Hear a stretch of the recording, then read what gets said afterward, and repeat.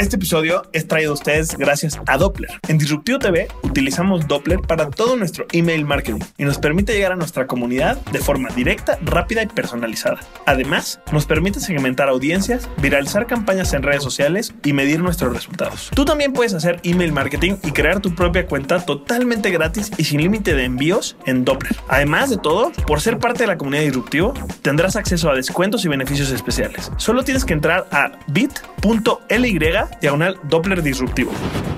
Hola a todos y bienvenidos a una nueva edición del podcast Disruptivo, en el podcast en el que hablamos todas las semanas de emprendimiento social, innovación y startups. Y el día de hoy justamente vamos a tener un startup aquí en la oficina, una empresa social en la cabina, que combina los tres elementos, que combina la innovación, que combina la tecnología, que combina el impacto social, todo para crear una solución que de verdad nos va a volar la cabeza ahorita que la conozcamos. No se despeguen porque el día de hoy tenemos aquí a, los a la fundadora del Ethic Hub.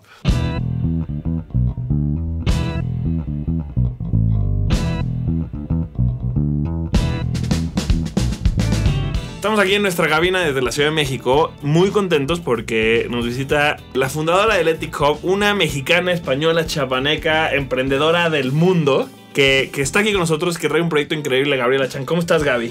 Muy bien, Juan. Muchísimas gracias por invitarnos. Oye, no, encantado estar por acá. Nos conocimos hace nada, por dos semanas. Yo ya sabía de ustedes porque han estado ganando muchos premios, han estado siendo muy reconocidos y nos presentaron hace dos semanas. Nos gustaron los tacos el lunes. Dije, tienes que venir al podcast. Este, así es, los mejores, los mejores encuentros se hacen en las taquerías. Totalmente, total en México, totalmente.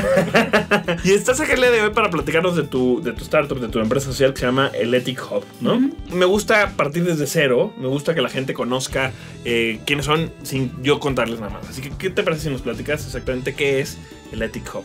Muy bien, claro. Eh, Ethic Hub es un marketplace de alto impacto para conectar pequeños agricultores desbancarizados con financiación internacional y compradores directos. Entonces, la operación del crowdlending, que es entre los inversores y los agricultores, se ve reforzada por la agricultura por contrato de los compradores directos, ¿no? que proporcionan, digamos, la, la garantía el colateral para estos préstamos.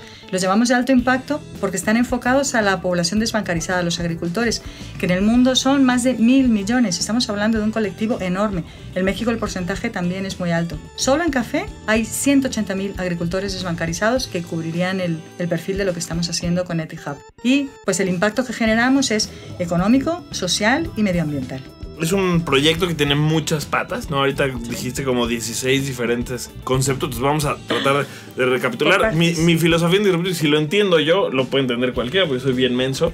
es, es, una plataforma, ya hemos hablado en, Disruptivo, Isaac, la gente que nos gusta mucho, el crowdfunding, todos estos temas de financiamiento a través del crowd, a través eh, colectivo, digamos. Ustedes son una plataforma de crowdlending. Eso significa que unas personas le prestan a otras personas, ¿no? El colectivo, la masa, le está prestando a alguien más. ¿A quién le está prestando? Bueno, son personas, y ahorita vamos a hablar justo ahí de unos aspectos particulares que tienen personas sobre todo de otros países que le pueden prestar a agricultores mexicanos, hoy específicamente en la industria del café. Que es con lo que estamos empezando, sí. La idea es validarlo y hacerlo con otros cultivos. Crecer y, impactar en todas las industrias, pero ahorita están empezando, digamos, estos prestadores le prestan a, a los productores de café para que ellos con eso mejoren su producción, aumenten sus ingresos. Ahorita nos cuenta un poquito más. Y un factor muy interesante es que lo hacen a través de blockchain. Exacto. Entendí. Muy bien. Excelente, muy bien. Cuéntanos un poquito, a ver, como de todas estas patas, no sé si nos quieras platicar una por una, si quieres hablar de los agricultores, por qué es importante que, que tengan acceso a este tipo de financiamiento, por qué hacerlo con crowdfunding, por qué tienen que ser eh, prestadores internacionales. Vamos a hablar de todo ello, pero me gustaría saber de dónde viene la idea, de dónde nació el, el, proyecto, porque no es una solución que se te ocurre un día así en la regadera, tú que ya está, vamos a hacer todo esto. ¿Cómo surge el Ethic Hub? Bueno, Hub surge, eh, la idea original viene de nuestro, de nuestro fundador, Jorian Brewster, que es mi marido, además, y por las circunstancias particulares de su vida. ¿no? Eh, cuando decide emprender, antes era el CEO de una empresa con más de 800 empleados, 100 puntos de venta, pues que tenía mucha experiencia a nivel empresarial en Europa y su familia tiene fincas de café en, México, en Chiapas, y él durante un par de años también las gestionó. Entonces tenía como mucho conocimiento de las dos culturas, de las dos economías y pensó, ¿qué se puede hacer para beneficiarse de sus conocimientos para crear algo productivo? ¿no? Y entonces se dio, o sea, una de las cosas que notamos mucho cuando estamos en estas zonas cafetaleras financieras son las enormes dificultades que tienen para conseguir financiación personas que el riesgo no justifica las tasas desmesuradas que pagan. Pagan más del 100% en Europa, eh, perdón, en, en, México. Y alguien con ese mismo nivel de riesgo en Europa estaría pagando pues una fracción de este dinero. ¿no? Esto viene de que el dinero tiene un valor distinto dependiendo en qué parte del mundo esté ubicado. Entonces, la solución de Etihub pasa por conectar regiones con tipos de interés tan distintos para beneficiarse unas de otras. Los agricultores tienen acceso a financiación mucho más accesible que la que disponen hoy en día y pues los inversores particulares europeos ganan una rentabilidad que no obtendrían allí donde tenemos incluso tasas negativas en los bancos, ¿no? Por la, por la liquidez que hay con el dinero. Y además de, de, beneficiarse, tienen la satisfacción de que están generando un impacto positivo con su dinero. Ok, entonces eso está buenísimo porque hay mucha gente que tiene el dinero del otro día me platicabas, ¿no? La gente que tiene el dinero del banco que no quiere hacer nada con, bueno, que no hace nada con ella y de esta forma genera impacto y también tiene un retorno claro. positivo gracias a, la plataforma. Que no puede hacer nada con ese dinero porque a menos que seas un capital grande, no tienes acceso a oportunidades de inversión con rentabilidades más altas, ¿no? O sea, siempre está limitado a los capitales grandes. Entonces, lo que decimos es que blockchain viene a democratizar el acceso a este lending. La industria del crowdlending está creciendo a tasas de doble dígito, enorme, pero hasta ahora era nacional. Blockchain lo que permite es traspasar fronteras y que este crowd, esta multitud que participa, sea global. Esa es la gran diferencia. A ver, a ver hablemos un poquito del crowd lending para entender el contexto. Eh, nosotros ya, ya hemos entrevistado, por ejemplo, en el podcast a Kiva, que es una de las primeras plataformas que hizo un modelo así. Creo que hay un par de startups más en México que lo están haciendo y en América Latina también. Cuéntanos cómo está, qué está pasando hoy en el crowd lending, qué hay antes de eh, Ethic Hub, qué existe, qué, qué es lo que ya existe y cómo lo vienen ustedes a, pues a, como A mejorar. Claro. A ver, el crowdlending ya existía, como, como bien dices, ¿no? Pero hay algunas diferencias básicas. Por ejemplo, nosotros nos inspiramos en Kiva, pero decimos que somos un Kiva revisado, mejorado, porque Kiva no funciona con, con, blockchain. Bueno, ahora están empezando con algo.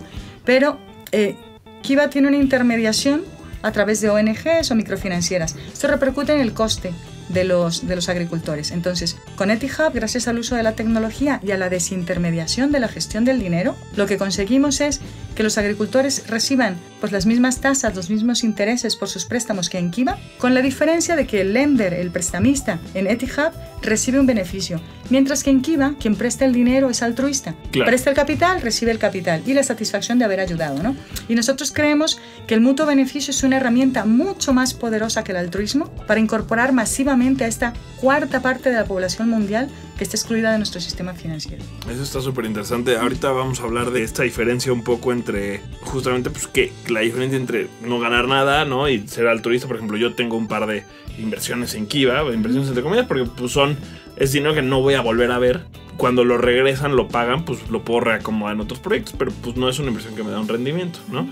Eh, en cambio ustedes sí, en cambio ustedes sí ganan más o menos cuáles son las tasas. En este momento, sí, en este, o sea, habrá que calcularlas para cada país y cada cultivo. En este momento, como estamos en el piloto, es un 15% anual, okay. que es muy bueno. O sea, en Europa la rentabilidad que te dan las inmobiliarias, por ejemplo, que, es el sector más, más seguro, está en torno al 5 o 6%. Entonces, para un europeo un 15% es, es maravilloso. Pero incluso el perfil altruista eh, lo enfoca de esta manera. Tienes más dinero para seguir ayudando. Mm. ¿Sabes? O sea.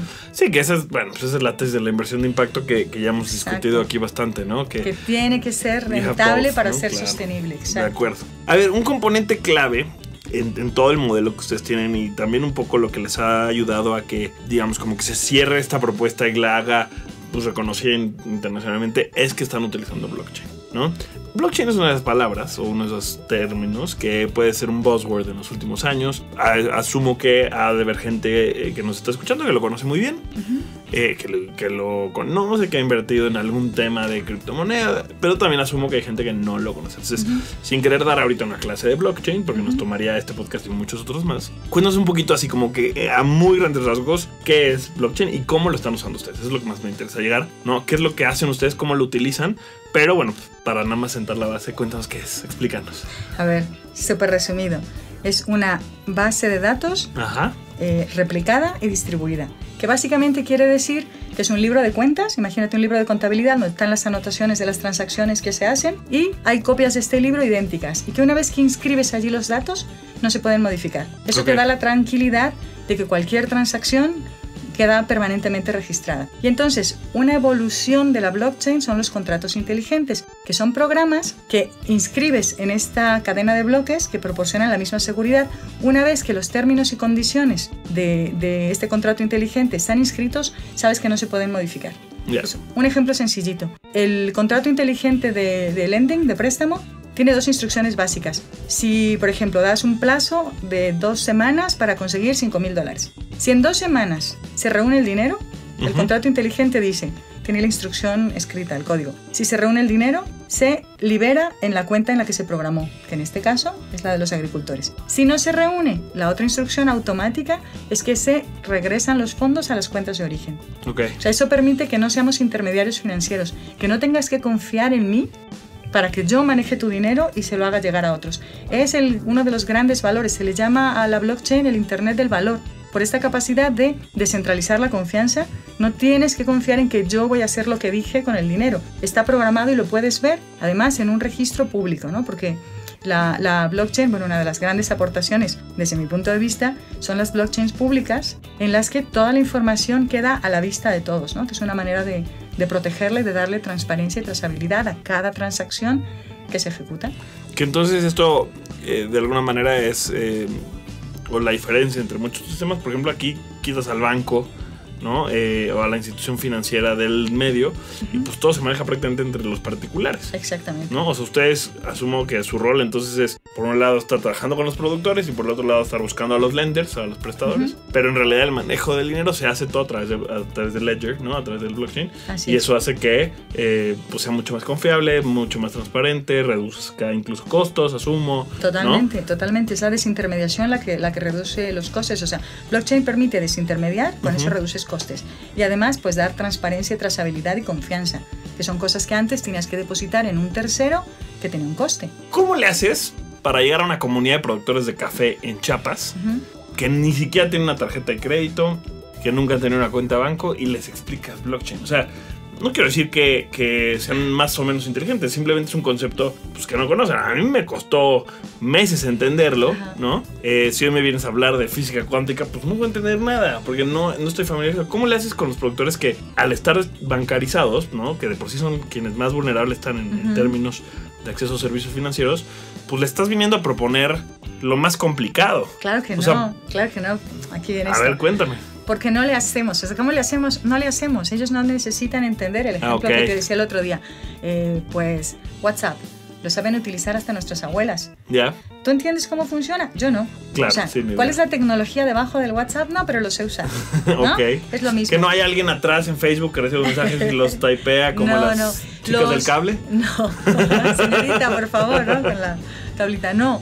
Pues así como no necesitas entender cómo funciona algo para utilizarlo, pues es el mismo caso aquí. El nodo local, que es una figura clave en nuestro, en nuestro proyecto, es la persona que sirve de puente tecnológico entre los agricultores y la plataforma. Entonces, te lo explico así súper sencillo.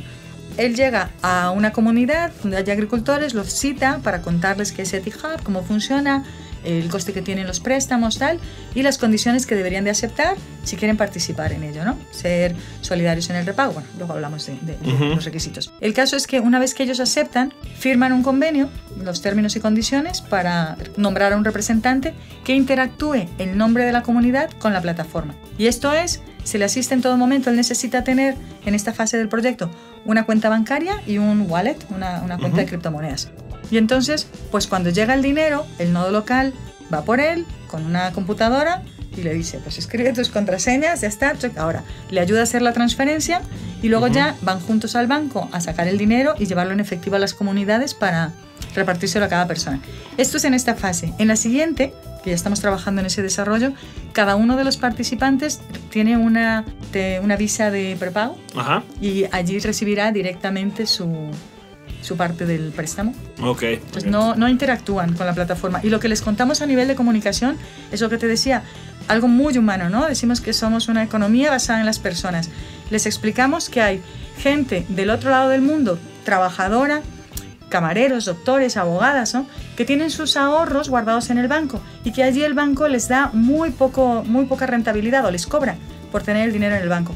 Entonces, que los hemos convencido para que les presten su dinero a ellos, que lo están pasando tan mal con tan poca financiación, confiando en que ellos se los van a pagar de vuelta. ¿no? Entonces, el, el vínculo emocional que creas cuando tienes la responsabilidad moral de quedarle bien a una persona que te está ayudando, es muy distinto de cuando es una institución o una donación del gobierno. O sea, sabemos cómo es la idiosincrasia del mexicano, ¿no? En ese sentido. Entonces, es muy importante. Ahora, más allá de lo bonito que es el proyecto y de lo bien que se oye, evidentemente tenemos filtros para asegurar el repago, ¿no? No, no somos tan ingenuos de creer que todo es por pura buena voluntad. Claro. Creamos sistemas de incentivos que son básicos en blockchain para hacer que los círculos se completen, ¿no? que cada uno de los stakeholders, de los participantes en la plataforma, actúe de la manera que sea más benéfica para la plataforma porque es lo que le beneficia a él más. Ya, está súper interesante eh, porque de alguna manera, como dices, pues resuelve el, el acceso a, a, los recursos. Una de las cosas más interesantes, eh, he estado hablando últimamente, por ejemplo, en, en, algunas clases que me toca dar, de cómo en esta, en esta época estamos mejor que en cualquier otra, ¿no? Uh -huh. O sea, históricamente. Eh, sí hay, digo, quitando el tema del cambio climático de lado, pero a nivel uh -huh. social, uh -huh. pues en este siglo o en este milenio, lo que sea, pues hay menos pobreza, menos eh, desigualdad que en cualquier otra época en la historia. Aunque Totalmente. siga habiendo mucha pobreza y siga habiendo mucha desigualdad. ¿Cuál es el problema de ahorita versus antes o por qué la gente se siente así?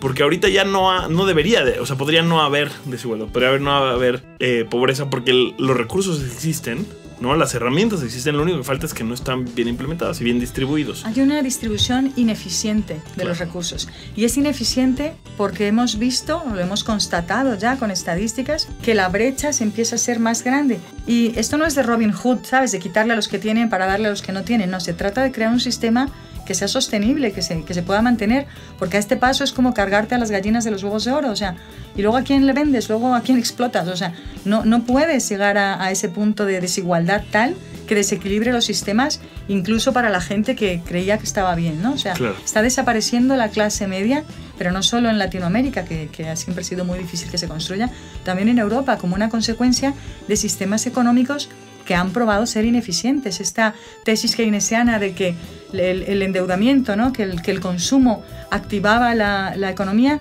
claro, eso incluso los baby boomers creían que el consumismo era patriótico, ¿no? que mm. comprabas para sacar adelante las empresas y crear trabajo. Eso es cierto a corto plazo. Pero claro, el círculo crece y crece y crece y ahí entra la sostenibilidad. No podemos seguir creciendo indefinidamente y consumiendo indefinidamente. Entonces, tenemos que cambiar el sistema económico desde la raíz y yo creo que blockchain es una herramienta que nos va a permitir muchísima eficiencia en esta redistribución más eficiente, el, el poder llegar más lejos y a más gente con, con cantidades pequeñas y dar oportunidad in situ, crear oportunidades en cada lugar para evitar estas migraciones indeseadas, indeseadas de los dos lados, ¿no? En Europa la gente no quiere que vengan los inmigrantes porque no sé qué, no sé cuál, pero ¿tú crees que un inmigrante quiere ir a Europa para ser un ciudadano de tercera? Claro que no. Si tuviera la oportunidad de quedarse en su país de origen, con su familia, su comida, sí, su claro. cultura, lo haría, ¿no? Entonces yo creo que, que es el momento de repensar que necesitamos replantear el sistema desde la base. Me encanta podríamos profundizar más en el trabajo con los productores, en, en, el tema de la plataforma, pero bueno, creo que más o menos ya tenemos una idea en general. Eh, lo que me gustaría ahora que platiquemos es, pues, ¿cómo les, o sea, cuál ha sido el trayecto de ustedes como uh -huh. emprendedores, porque de esta parte, esta parte es la que más me gusta, porque aquí es donde aprendemos también de los errores, los fracasos, los éxitos, ¿no? Uh -huh. Ustedes llevan poco tiempo, llevan un año, año y medio más o menos con sí, que empezaron, que desde cero, desde cero casi dos, visto desde fuera parece poco, a nosotros nos ha parecido una eternidad. Bueno, es que se emprenden años perro, ¿no? Entonces son sí, como ocho sí, años de vida, pero sí. Bueno, pues años perro, sí. Pues estamos justo saliendo, satisfactoriamente lo puedo decir, justo saliendo de esto que que en, el, en, las startups se llama el Valle de la Muerte, ¿no? Ajá. Este momento en el que tienes validado tu modelo, tienes todo, pero te falta dinero para pagar el alquiler de los servidores y claro. ya te acabaste tus ahorros. Entonces, hace falta financiación, pero todavía no tienes las métricas para que los grandes fondos inviertan. inviertan. Pero una vez que logras pasar esta fase tan difícil, es como si te está esperando el Edén allí, ¿no? O sea, todos los grandes fondos, o sea, en este momento invito a la gente de verdad a que, a que se interese por la inversión de impacto. En este momento hay muchísimo más dinero, estamos hablando de más de 500 mil millones de dólares en, o sea, disponibles para inversión de impacto y hay muy pocos proyectos. que- para ello. Pero claro, no van a venir a invertir en tu idea. Tienes que tenerla aprobada y este trabajo de año y medio que hemos hecho nosotros, pues ha sido, o sea, ¿cómo empezamos? Pues convenciendo a la gente de una a una, ¿no? Creándote una reputación a base de opinar en foros, de decir, mira, este chico piensa bien, ¿no? O esta chica eh, tiene ideas claras, ¿no? Y poco a poco te vas ganando un espacio antes de soltar, pues yo tengo un hijo que se llama Etihad, ¿no? Y es muy guapo. Entonces, pues un poco así. Un concepto muy interesante y muy importante para una startup es la credibilidad. Entonces, hay un término eh, que se llama hipercredibilidad. Si viene un adolescente y te dice, voy a ir a Marte, le crees. Pero si viene con Elon Musk, Mm, te preguntas cuándo. ya. ¿no? Entonces, ir sumando credibilidad a tu proyecto es algo que se va haciendo en capas, que no te lo puedes saltar, no la puedes comprar, esta credibilidad. Entonces, nosotros empezamos, pues, pateando pueblos, o sea, yendo de sitio en sitio a cada reunión que había de blockchain para hablar de nuestro proyecto y tal, hasta que fuimos reuniendo poco a poco una comunidad alrededor del proyecto, ¿no?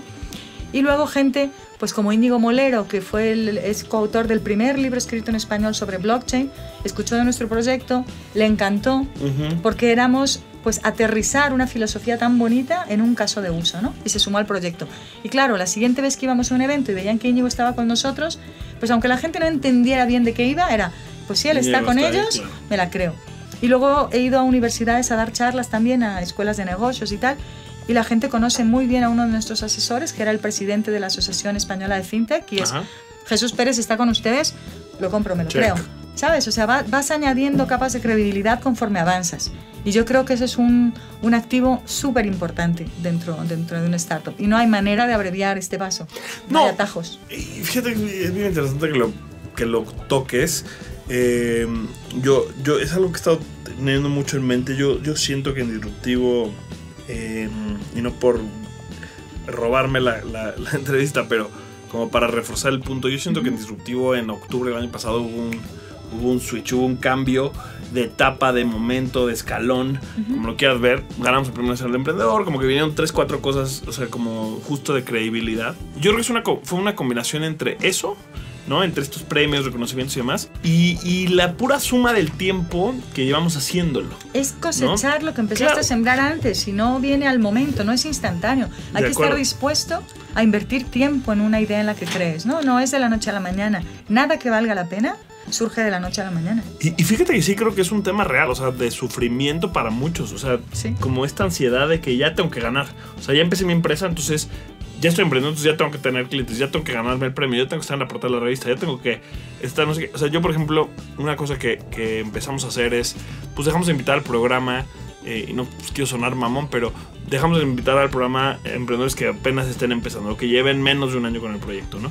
Porque entonces luego te das cuenta que les falta mucho camino por recorrer y las historias y las anécdotas y los aprendizajes son mucho más ricos cuando ya llevan dos, tres años porque ya la regaron, ya se recuperaron, eh, ya aprendieron, ¿no? Yo me siento así ahorita, yo me siento como una etapa en la que no domino y no soy ya el, el más maestro del mundo, pero sí ya siento que es muy distinto a lo que era hace dos años, tres años. eh, por supuesto, pues más Así al es. principio. Entonces, eh, sí creo que es algo que no hay de otra. Ujú. ¿no? O sea, esa madurez al final del día que te va a dar la estabilidad, el salir de la, de la valla de la muerte, no te la va a dar nada más que el tiempo.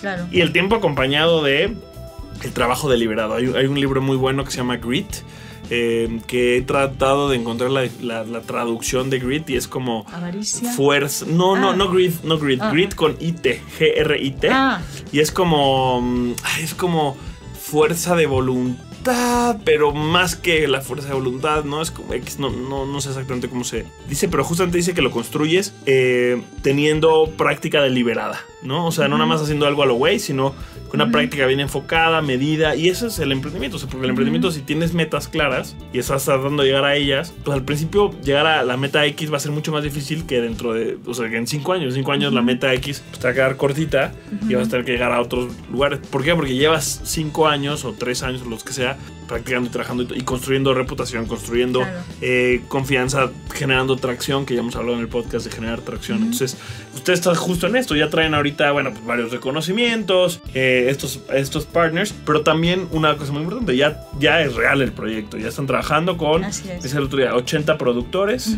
¿no? Este, no sé cuántos lenders tienen ahorita. Pues como 120 y 120 creciendo. lenders. Cada Entonces mes ya crecemos. funciona, ya se pasa el dinero, el dinero ya está generando impacto, ¿no? Ya, ya está sucediendo Así eso. es. ¿Y cómo se siente ahora el proyecto? O sea, como decías, no, ya de aquí vemos el fin de la, del Valle de la Muerte, que rápido, por cierto, porque hay quienes Sí. nos tardamos muchos años, pero, Sí, sí. pero ¿cómo te sientes tú ahorita ya que puedes llegar con un inversionista, puedes llegar a un medio, puedes llegar a algún lugar y decir, mira, ya, ya es real esta idea que hace un año y medio, dos años era una idea? Pues por un lado, enormemente satisfecha del trabajo de todo mi equipo y del esfuerzo que hemos hecho. Y por el otro lado, con una enorme responsabilidad de la gente que ha confiado en nosotros, ya sea su dinero como inversores o su tiempo, de los colaboradores que, que han apoyado al proyecto sin cobrar un sueldo durante todo este tiempo. ¿no? Que es muy difícil encontrar la gente con la convicción en que un proyecto va a salir adelante. Y aquí es muy importante que tu proyecto tenga propósito. Ok. O sea, es la, es, yo creo que es la diferencia entre la noche y el día. Y es, pues si voy a hacer unos muñequitos que a ver si convenzo a quién se los vendo, no. Cuando estás buscando una solución a un problema real, ese es tu motor, ¿no? Te despiertas cada mañana con ganas de encontrar la solución, con ganas de estar pensando ideas. O sea, el cerebro se te conecta en automático con esta actitud abierta de buscar por dónde, ¿no? Porque una startup pues es un entorno de incertidumbre todo el tiempo. Y en el caso de nosotros, que estamos trabajando con blockchain, que somos pioneros en una tecnología que no hay para dónde buscar referentes todavía, o sea, empezamos hace dos años y, y no había. Entonces Ujú. hemos hecho lo mejor que se ha podido con los recursos que, disponibles ¿no? en este momento. Y entonces eso requiere una capacidad de, de ser consciente que vas abriendo camino. Entonces Claro. yo creo que sin, sin este incentivo del propósito, que lo que estás haciendo, por supuesto que estamos esperando que, que revierta en un bienestar económico para nosotros y para nuestras familias y que nos han apoyado, también es el enorme impacto que sabemos que va a ocasionar, ¿no? Es como retomar tus sueños de adolescencia cuando soñabas con salvar el mundo, decir, oye, pero lo podemos hacer, hay la Claro. tecnología, no va a ser fácil, pero es posible, es alcanzable, ¿no? Y eso es como una estamina, ¿no? Como, como energía para, para seguir adelante. Ya, me encanta. Me encanta, mm, al final del día, pues eso es lo que hacemos acá y promovemos justo este tipo de empresas Claro. con propósito. Sí creo que te hace toda la diferencia. Eh, o sea, no sé cómo explicarlo, pero que una empresa tenga propósito no es como neta tener... eh, como la estrellita de Mario, ¿no? Eh, si estás jugando Sí. Nintendo, no tenerla. No porque te vayas a poder brincar todo y nada te afecte, pero sí es una capa protectora.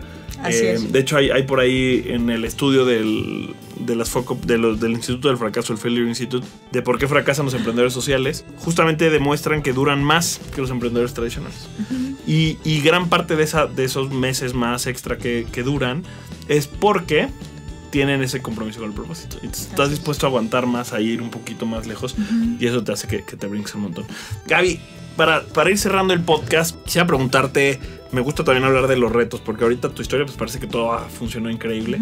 Eh, me gustaría hablar de un reto en particular que justo antes del, del programa me contaste, que lo explicamos de manera muy concreta, porque también está padre que la gente se dé cuenta que todo el mundo se enfrenta a este tipo de problemas, ¿no? Me dijiste, oye Juan, nada más tenemos que ser muy cuidadosos en el podcast, porque en realidad la gente que nos escucha desde México no puede ser prestador, no puede ser un lender de la plataforma por un tema de la regulación fintech. Cuéntame, ¿qué, qué significa exactamente? ¿A qué problemas están ustedes hoy, es- es exclusivamente, ¿no?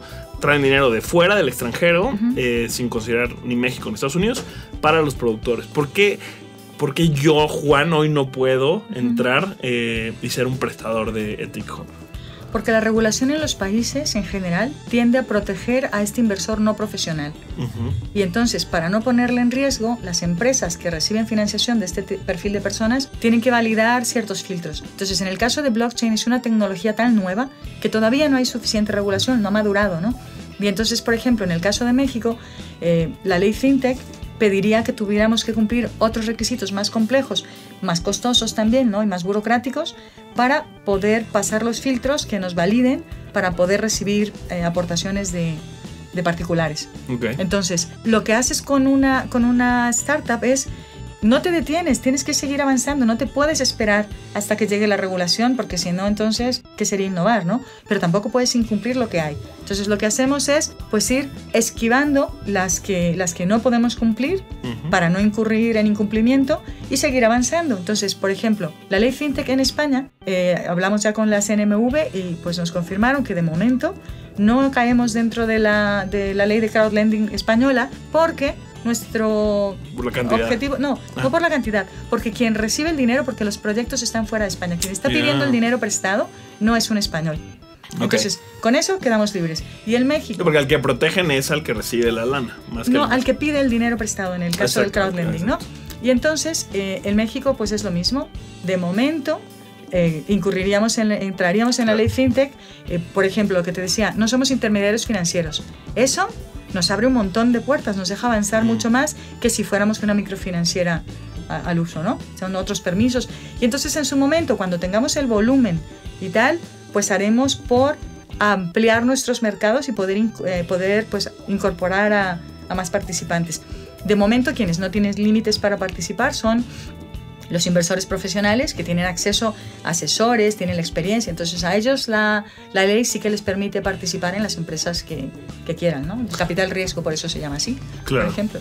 Me, me- me gusta esto porque justamente nos explicas cómo la innovación a veces se va a enfrentar con problemáticas, hasta con temas regulatorios, pero pues se tiene que encontrar la forma de darle la vuelta y no brincártela, Claro. sino encontrar otro. Ustedes pudieron haber, o sea, hubiera sido, no sé si más fácil, pero hubiera sido quizá sencillo buscar inversionistas en México y pues, mantener todo a nivel local. Ujú. Pero entonces eso hizo que fueran a España, que buscaran allá, eh, ¿cómo se llama? También prestadores. Y es- una forma de ver cómo usas esta creatividad y Ajá. cómo abres tu mente a decir, bueno, cuando se me cierra un camino, hay muchas otras cosas que puedo Exacto. hacer, ¿no? Bueno, en nuestro caso arrancamos en España, o sea, Ok. estamos establecidos allí y justo lo contrario, hemos encontrado montonazo de inversores, de eh, angel investors en México. O Ok. sea, eso sí hay que decir, Latinoamérica está mucho más profesionalizada a nivel Eso de inversión de impacto que Europa, por el, por el contexto económico y cultural, ¿no? Los europeos están más enfocados a donación Ajá. que a inversión de impacto, pero eso es un resultado de la realidad cotidiana, ¿no? de, de nuestros países. Sí, ya hemos hablado porque Latinoamérica es justo un gran caldo cultivo para la inversión de impacto porque tenemos tanto el problema como el capital en el mismo lugar. Exacto. Y eso hace que se genere. Buenísimo. Gaby, te agradezco mucho que hayas estado por acá. Nos podemos quedar platicando más. Me encantaría profundizar en muchos otros temas. Pero bueno, esta, mantenemos estas entrevistas así para que la gente pueda aprender y pueda Claro que sí. animarse a tomar acción. Siempre cierro pidiendo a la gente que nos recomiende, y, y normalmente se los digo antes para que lo piensen, pero a ti te va a agarrar en frío. Que nos recomienden un libro, que nos recomienden eh, una película, una plática TED, algo que les haya servido a, a ustedes en su proceso de emprendimiento. Puede ser muy relacionado a lo que haces o no. O sea, nos han recomendado Moby Dick. Ajá. Y, y entonces, algo, algún libro que ti te haya utilizado, aquí te, a ti te haya servido, porque yo sé que la gente que escucha, he visto a la gente en los eventos que me dice, mira, yo traigo aquí el libro que recomendaron en el episodio número, número tal. Yo todo el tiempo estoy leyendo y todo el tiempo estoy tratando de aprender, entonces me encantaría escuchar una recomendación que nos puedas dar. Claro que sí. Pues yo les recomiendo que lean el libro de Jean Tirole, que es el Premio Nobel de Economía. Se llama La economía del bien común. Buenísimo. Buenísimo. Es la base para entender qué está yendo mal y cómo podemos hacer para enderezar el rumbo. Que además no sé mucho del tema, eh, justo me lo estabas este, recomendando el otro día, pero es un predecesor de lo que está pasando ahorita con todo el tema del emprendimiento social, eh, ¿no? De ahí viene también la economía, o sea, de la economía del bien común viene justo este movimiento que estamos impulsando nosotros. Tendría que ponerme un poco a hacer más tarea, pero es una gran recomendación. La economía del buen común de Jan, Jean Tirole. Jan Tirol. Muy bien. Ya saben que ahí el libro y el link y todo lo vamos a estar recomendando en las notas del podcast en disruptivo.tv. Gaby, te agradezco muchísimo. ¿Dónde podemos conocer más acerca del EtiHub, la página de internet, las redes sociales? Claro que sí. Entren a nuestra página web, ethichub.com. Desde allí tienen enlace a nuestro medium, a todas nuestras redes sociales, a la plataforma misma, donde pueden ver toda la información, quiénes son los agricultores, para qué quieren el dinero, cuánto piden, todo, todo lo tenemos desplegado allí. Y los invitamos a participar en nuestros canales de Telegram, donde en tiempo real pueden hacer todas las preguntas que quieran sobre el proyecto, sobre inclusión financiera, sobre este tipo de temas, que tenemos a todo el equipo conectado y como estamos en distintas zonas geográficas, pues en general tienen que esperar muy poco para tener respuestas. Me gusta. Fíjate que estoy sintiendo que últimamente, eh, sobre todo el último mes y medio, dos meses, estoy sintiendo que eh, me estoy quedando atrás con Telegram. Porque aunque ya lo, varias- ya lo había escuchado desde hace tiempo, no había querido entrar, pero últimamente veo que se está empezando a usar para otras cosas, que no es nada más el reemplazo del WhatsApp o del Slack, sino que tiene otros usos. Y siento que ya no soy de los, bueno, por supuesto que no soy un early adopter, pero ya ni siquiera soy como un early majority, ya me estoy quedando atrás.